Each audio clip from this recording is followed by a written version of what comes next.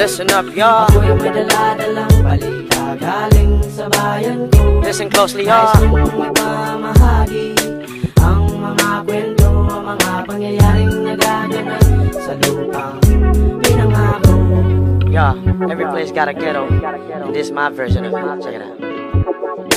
Listen closely, oh, I got a story to tell. A version of my ghetto where life felt for real. Some would call it hell, but to me it was heaven. God gave me the grace, amazing ways of living. How would you feel if you had to catch a meal, build a hut to live in, to eat and chill in? Having to pump the water out of the ground. The way we put it down, utilizing what is around, like land for farming, river for fishing. Everyone helping each other whenever they can. We're making it happen from nothing to something. That's how we been surviving back in my homeland.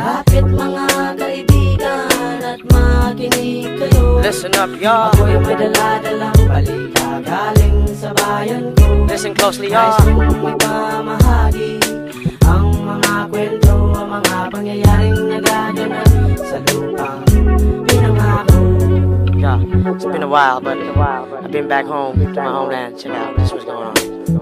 It feels good to be back at home. And it's been a decade on the journey all alone. I was 14 when I first left Philippines. I've been away half my life, and it felt like a dream to be next to my mom with her home cooked meal. Man, I felt complete. My emotions I feel now. Life has changed for me in the U.S., but back at home, man, Life was a mess, I guess sometimes life stresses get you down On your knees, oh brother, wish I could have helped you out Lapit mga kaibigan at makinig kayo listen up, y'all. Ako'y may daladalang balita galing sa bayan ko Listen closely, Nais y'all. kong ipamahagi